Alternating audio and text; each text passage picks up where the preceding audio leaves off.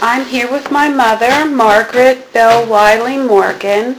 Um, Could you please tell me, uh, Mom, what your birth date is and where you were born? Oh, uh, June the 7th, I was born 1923 in a farmhouse in western Greene County, Richfield Township, almost on the West Virginia line. What was Waynesburg College like at that Well, time? it was very small. What year Uh, was that? That was in 1941. Mhm.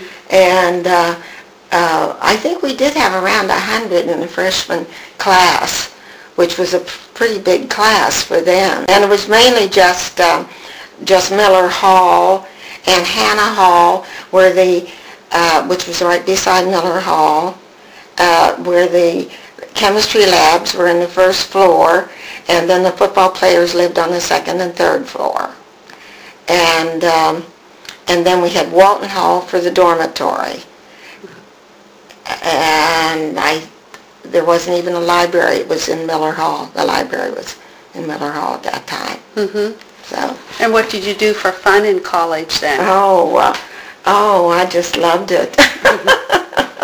Uh, Well, we had sweater hops in the evenings, and, uh, we- but we had, we had to sign in and out uh, at the dorm, and I think on the, on weekdays, the, the boys could only stay till nine o'clock when they came for sweater hops.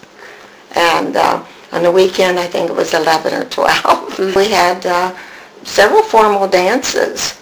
We had um, the homecoming dance and and uh, at Valentine's Day, and that was when I had my first real date with Dad, was Valentine's Day. And then the big spring uh, May Day dance. Mhm. And weren't you part of the May Court Yeah? I was, it was totally surprised and excited. Uh-huh. And now Ross Aiken Uh-huh. was the other one, and uh, it it was just, uh, um, it was it was really a thrill. So where were you when the war first At started? Waynesburg College. Okay, well, what Uh, uh. was, can you tell a little bit about the reaction on campus? Oh, we were shocked when, and we got home. I remember hearing it when I got home from church that morning. It was a Sunday morning that uh, that the Japanese had bombed Pearl Harbor, and um, well, the the young man just started leaving, going, join, you know, um, volunteering and and um, even like Mo Scary, he left in February. I remember right in the middle of basketball season. They played football and basketball. And um, and Dad and uh, uh, Don and Don Petronell and Al Como tried to hitchhike to Pittsburgh to volunteer. Well, let's see. Did they actually get there? Well, I no, I don't think they did. Prexy caught, Prexy Stewart was our college president.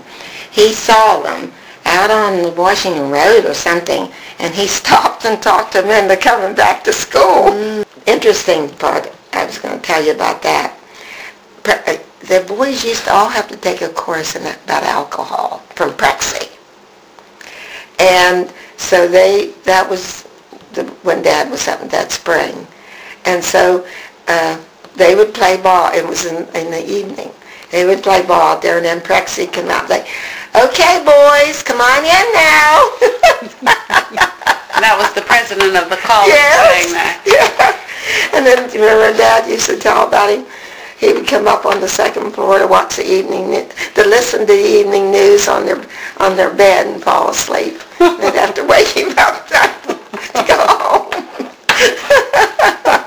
yeah, he was a great guy. but but my dad said, well, you go to Waynesburg one year, and if you really still want to transfer, you can.